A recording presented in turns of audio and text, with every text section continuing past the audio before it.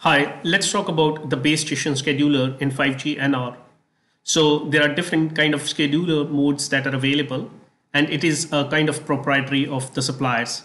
So the choice of scheduler has a significant impact on the network performance such as the throughput, delays or fairness index. So we are taking one example where we have three users connected with one particular cell and we are taking its signal strength, its, its uh, quality in terms of signal to interference noise ratio, in terms of MIMO also, and then we are capturing what and how these different scheduler modes are working. So we are considering the one example, the first mode is of max C/I, which is considering the quality as a parameter to allocate more resources.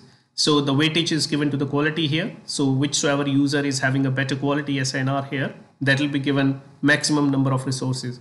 But now here the drawback is the user 2 and 3 would not be given sufficient resources. And their throughput in this case is really worst.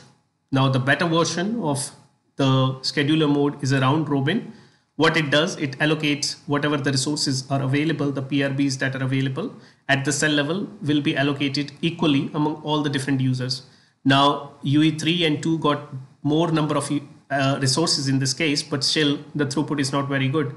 And the reason is quite evident because as we have seen in the previous slides, in case of MCS, the MCS would not be very good for UE2 as well as for UE3. Even UE3 is more worse because in that case, the signal quality we have seen, the CQI has a direct impact on the MCS. So MCS would be very low.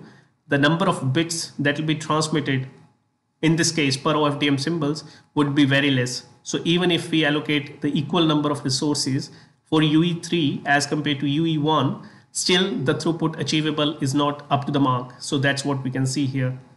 After that, there is a proportional fair, a better version of RR. So in that case, it will be given the resources depending upon how it can guarantee the throughput across all the different users. It can be delay, it can be fairness index also. So here in this case, more number of resources will be allocated to UE3 and UE2 as compared to UE1. And in that case, it will be able to achieve a better throughput.